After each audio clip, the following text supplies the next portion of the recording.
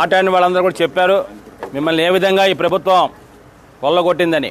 అదే ఇసుక మీద కోట్లు కూడబెట్టింది కుడివేడ ఎమ్మెల్యే కొడాల నాని. ఇవాళకి కూడా ఇసుక దోచుకుంటున్న వ్యక్తి ఎవరన్నా ఉన్నాడంటే కొడాల నాని. అతనికి అంత ముందు నాలుగు లారీలు ఉంటే ఇసుక కోసం వాటిని ఏమంటారంటే పెద్ద బళ్ళు?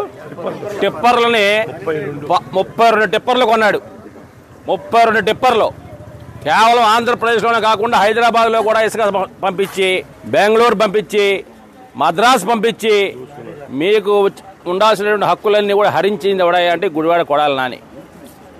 సరే అందరు చెప్పారు కాబట్టి పెద్దగా నేను లోతుగా ముఖ్యంగా మీకు వర్తించేది చంద్రన్న బీమా చంద్రన్న బీమా ఉంటే గతంలో ఏ విధంగా పనిచేశాం? మీరు ఎక్కడో పరదాల మీద ఎక్కి పైన మూడో ఫ్లోర్లలో నాలుగో ఫ్లోర్లోనో పనిచేస్తూ ఉంటారు.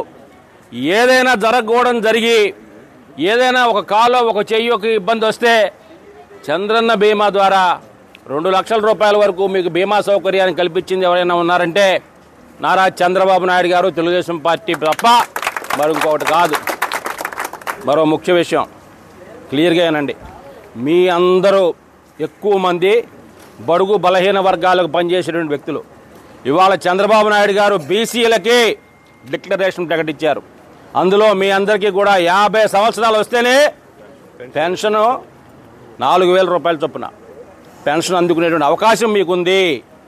మీరు పొరపాటు చేసి వాళ్ళు చెప్పే మాయ మాటలు విని అటు కొమ్ము కాస్తే మాత్రం ఆ యాభై ఏళ్ళకి మీకు కల్పిస్తాం అనుకున్న దానికి నష్టపోతాం. చంద్రన్న బీమా నష్టపోతాం. మీకు ఉచితంగా వచ్చి ఇసుక నష్టపోతాం. అన్నీ కూడా నష్టపోతాం. దయచేసి రాము గారికి అండగా నిలవండి. బాలశౌరి గారికి అండగా నిలవండి. మీరు రేపు పొద్దున పోలింగ్ బూత్లోకి వెళితే మొదట పార్లమెంట్ ఓటు పెడతారు. రెండో అసెంబ్లీ ఓటు పెడతారు. పార్లమెంటు తరపున బాలశౌరి గారు పోటీ చేస్తా ఉన్నారు. జనసేన పార్టీ తరపున ఆయన గుర్తు గ్లాసు.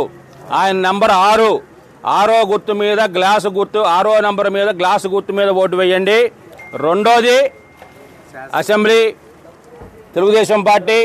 మన వెలిగళ్ళ రాము గారు నాలుగో నంబర్లో ఉన్నారు. సైకిల్ గుర్తు మీద ఓటేయండి నేను చెప్పే ఈ మాటలను కాస్త ఆలకించండి. మీరు ప్రజల్లో తీసి చెప్పండి.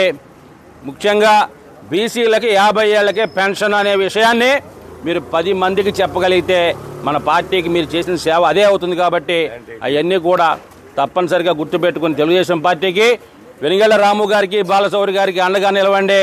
మన జీవితాలు మనం బాగు చేసుకుందామని తెలియజేస్తూ సెలవు తీసుకుంటామని